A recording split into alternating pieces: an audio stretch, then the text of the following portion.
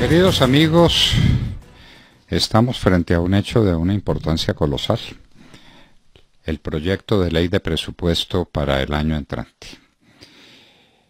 En momentos en que el país se empobrece y se está empobreciendo, dice el gobierno, en el 5.5% para este año. Dicen todos los entendidos que cerca del 9% y puede ser el 10%. Mientras eso le ocurre a la nación, el gobierno quiere ser un 19% más rico, tener un presupuesto un 19% mayor que el de este año.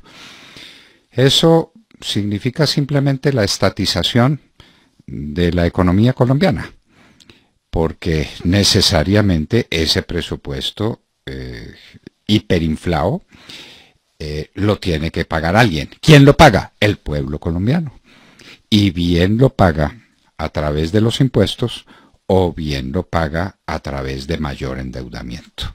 El endeudamiento del país es sencillamente colosal y por eso para el presupuesto del año entrante vamos a tener la módica suma de 76 billones de pesos para el servicio de la deuda. Le repito porque no estoy equivocado. 76 billones de pesos tendremos que pagar los colombianos el año entrante para el servicio de la deuda. Lo que quiere decir que el país se ha endeudado de una manera colosal con la disculpa de que es por el coronavirus. Eso no es verdad, eso no es verdad. Esto es un proceso continuo en el que desde luego tiene influencia el coronavirus en el último año en una pequeña proporción. 76% perdón, 76 billones de pesos de servicio de la deuda. Un escándalo. Entonces, reunamos cifras. El país pierde un 8% de riqueza. El gobierno presenta un presupuesto 19% más caro, más alto.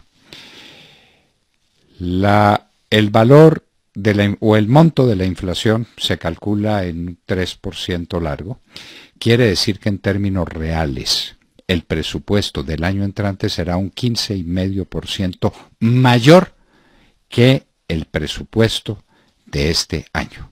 15,5%. Mientras todos nos empobrecemos un 8, 9 o 10%, el gobierno se infla en un 15,5% en términos reales. Esto será comprensible.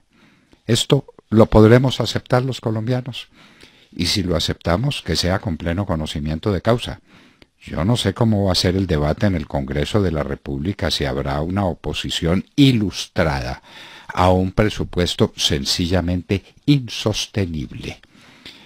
Entonces aparecen algunos recortes, recortes que se debieron hacer el 7 de agosto por la tarde de hace dos años. Entonces se hacen recortes, por ejemplo, en la presidencia de la República un recorte grande de 500 mil millones de pesos, la presidencia de la República admite que está inflada en 500 mil millones de pesos. Pero todo lo demás aumenta y aumenta y aumenta. Señores, este es un problema mm, no eh, simplemente de unas cifras que se tiran ahí al azar. Este es un problema fundamental. Estamos estatizando la economía colombiana en tiempo de crisis con una disculpa muy linda, y es que vamos a tener inversiones y a través de la inversión mover la economía. Antes que tener esas inversiones, tendremos que pagar los impuestos y tendremos que asumir un endeudamiento mayor. Eso es un sofisma, eso es un sofisma. No puede haber un plan keynesiano sobre la base de un presupuesto superinflado que acabe de arruinar el país el presupuesto, la ley de presupuesto, el proyecto que le ha presentado el gobierno al Congreso de la República es la demostración de que ha quebrado este país. Lo quebró Juan Manuel Santos de qué manera cuando durante años se dedicó a repartir mermelada sobre toda la tostada. Aquí viene un tema interesante. Santos lo hizo sobre la base de un ecopetrol multimillonaria que estaba ganando unas cifras fabulosas a partir de un millón de petróleos de producción, de petróleo por día, de barriles de producción por diaria y con un valor de más de 100 dólares el barril. ahora vamos a tener 700 mil barriles de petróleo con un eh, valor por eh, barril de 40 dólares, para que resumamos. Es decir, menos de la mitad. Luego, esa renta de capital no existirá. Lo que va a inflarse es el valor de los impuestos y el valor del endeudamiento. Entendámoslo así.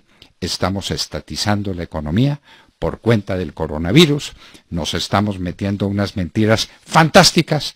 Esperamos que el Congreso de la República, por primera vez en la vida, le haga un debate serio al presupuesto, para que nos haga entender a los colombianos esto para dónde va. Esto es una socialización completa del sistema económico del país, no es otra cosa.